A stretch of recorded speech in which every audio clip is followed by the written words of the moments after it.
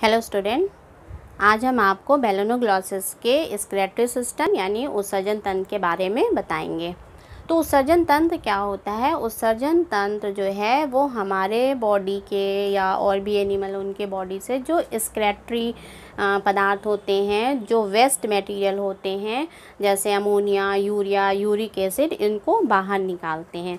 तो बेलोनोग्लासेस में जो कोई स्क्रेटरी ऑर्गन नहीं है, मीन्स बाहर निकालने इनके जो वेस्ट मटेरियल हैं, उनको बाहर निकालने वाले कोई आपके ऑर्गन नहीं है। तो इनमें जो है स्क्रीशन का काम कौन करते हैं? ग्लोमेरुलस करते हैं। तो बैटसन और कोकलर ने बताया था कि जो ग्लोमेरुलस है, वही इनके स्क्रेटरी का काम करते हैं।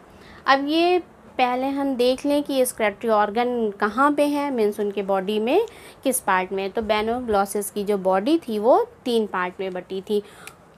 आपको याद होगा बेलोनोग्लॉसिस ऊपर जो था ऐसे, ये था आपका प्रोबोसिस इसके बाद ये कॉलर हो गया और ये इसकी बॉडी जो थी, ये ट्रंक ऐसे ये बॉडी क्या थी आपकी? ट्रंक थी। तो ये क्या हो गया आपका? प्रोबोसिस ये कॉलर ये ट्रंक तो ग्लोमेरुलस कहाँ पे? मीन्स स्क्रेटरी ऑर्गन कहाँ पे है आपका? प्रोबोसिस रीजन में है.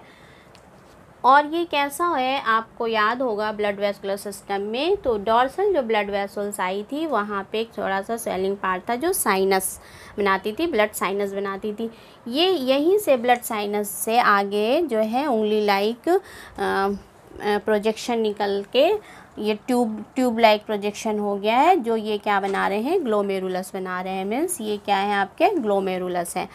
ये कैसी है आपकी ट्यूबलर है। और इसमें क्या भरा हुआ है आपका ब्लड भरा हुआ है।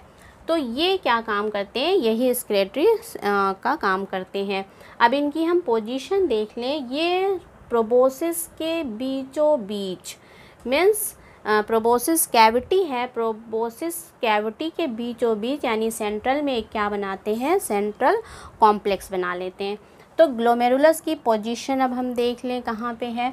तो ग्लोमेरुलस कहाँ पाया गया? प्रोबोसिस रीजन में। मीन्स प्रोबोसिस में है और ये बक्कर डाइवर्टिकुलम एक बक्कर डाइवर्टिकुलम के ठीक नीचे पाया जाता है।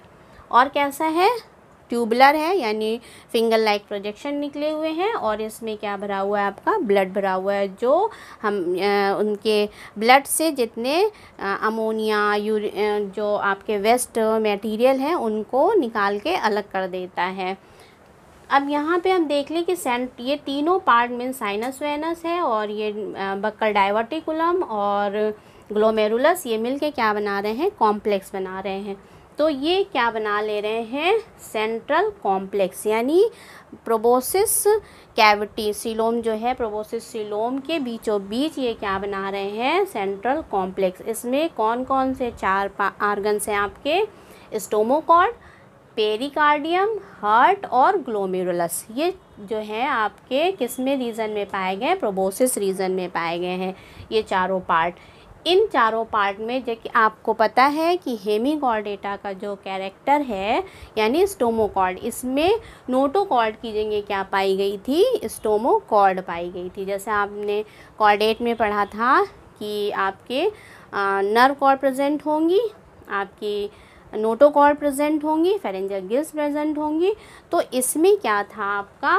नोटोकॉर्ड की जगह क्या प्रेजेंट था, स्टोमोकॉर्ड प्रेजेंट थी। तो ये हेमिकॉर्डेटा का कैरेक्टर भी है। अब पेरिकॉर्डियम, जो साइनस सेनस था, ये साइनस के ऊपर क्या घिरा हुआ जो है, वो पेरिकार्डियम है। और क्या है, ये हार्ट के तरह मीन साइनस वेनस क्या काम कर रहा है, आपका हार्ट के तरह काम कर रहा है। तो ये हार्ट हो गया, और आगे जो फिंगर लाइक प्रोजेक्शन है, ये क्या हो गया, आपका ग्लोमेरुलस तो हार्ट ग्लोमेरुलस और बक्कल डाइवर्टिकुलम ये जो बक्कर डाइवर्टिकुलम आप ये देख रहे हैं ये ट्यूब लाइक स्ट्रक्चर ऐसा है ये क्या है आपका? बक्कर डाइवर्टिकुलम ये तीनों मिलकर हार्ट क्लोमेरुलस और बक्कर डाइवर्टिकुलम मिलकर क्या बनाते हैं? एक सेंट्रल कॉम्प्लेक्स बना लेते हैं। तो ये क्या हो गया? आ, सी प्रोबोसिस कैविटी हो गई। मीन्स यहाँ से ये जो है ये बीचों बीच जो है वो प्रोबोसिस कैविटी है। तो प्रोबोसिस कैविटी में ये क्या बना ले रहे हैं आपका? आ, सेंट्रल आ, आप कॉम्प्लेक्स बना ले रहे हैं। अब हम इनके मैकेनिज़्म की अगर बात करें तो जो पे ग्लोमेरुलस है, इनकी जो कवरिंग होती है, वो कैसे बनी है आपकी? पेरिटोरियल सेल्स की बनी होती है। ये पेरिटोरियल सेल्स जो होते हैं, इनमें ब्राउन और येलो कलर के पिगमेंट होते हैं। मीन्स ये किससे कंटेंट होते हैं? येलो और ब्राउन कलर के पिगमेंट से कंटेंट होते हैं। तो अब इसमें जो ये क्या काम करते हैं? ब्लड से ये ग्लोमेरुलस जो है, इनके पिगमेंट जो हैं, वो क्या करती हैं? आपके जो वेस्ट मटेरियल हैं, उनको निकाल के किसमें डाल देती हैं? प्रोबोसिस सीलोम में डाल देती है। मीन्स ये ब्लड से वेस्ट मटेरियल को निकाल के किसमें डाल दिए? प्रोबोसिस सीलोम में डाल देते हैं। और प्रोबोसिस सीलोम से ये प्रोबोसिस पोर के थ्रू बाहर निकल जाते हैं। तो यहाँ पे हम इनका फ्लो चार्ट देख लें कि जो ग्लोमेरुलस है, वो किससे कंपोज है? जो ग्लोमेरुलस की कवरिंग है the covering of glomerulus is compose of secretory peritoneal cell means किससे घिरी हुई है आपकी? किससे स्क्रेटरी पेरिटोरियल सेल से, जो किसे कंटेन है?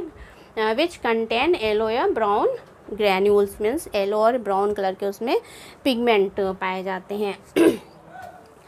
तो अब ये कैसे वेस्ट मटेरियल को निकाल ली है? इसमें कोई ख़ास इनकी मैकेनिज़्म नहीं है। मीन्स ये सेल्स जो है ग्लोमेरुलस जो है, इनके सेल्स जो हैं, वो वेस्ट मटेरियल को वेस्ट सब्सटेंस को किसमें डाल ली है आपकी? जो पिगमेंट है पेरिटोरियल पेरिटोरियम सेल्स जो हैं, वो ला के किसमें डाल दी ग्लोमेरुलस अब ग्लोमेरुलस के थ्रू ये पास हो रहे हैं किसमें प्रोबोसिस, यानी ग्लोमेरुलस जो है वो उसको निकाल के मीन्स वेस्ट प्रोडक्ट को, मेरे स्क्रेटरी प्रोडक्ट को या वेस्ट प्रोडक्ट को निकाल के किसमें डाल दे रहा है? सीलोम कैविटी में डाल दे रहा है। मीन्स इस सीलोम कैविटी में डाल दिया। सीलोम कैविटी के प्रोबोसिस के थ्रू वो पास आउट हो जाए मीन्स बाहर पास आउट हो जा रहे हैं प्रोबोसिस पोर के थ्रू इस तरह से इनका स्क्रेटरी जो मटेरियल है वो बाहर निकल जा रहा है।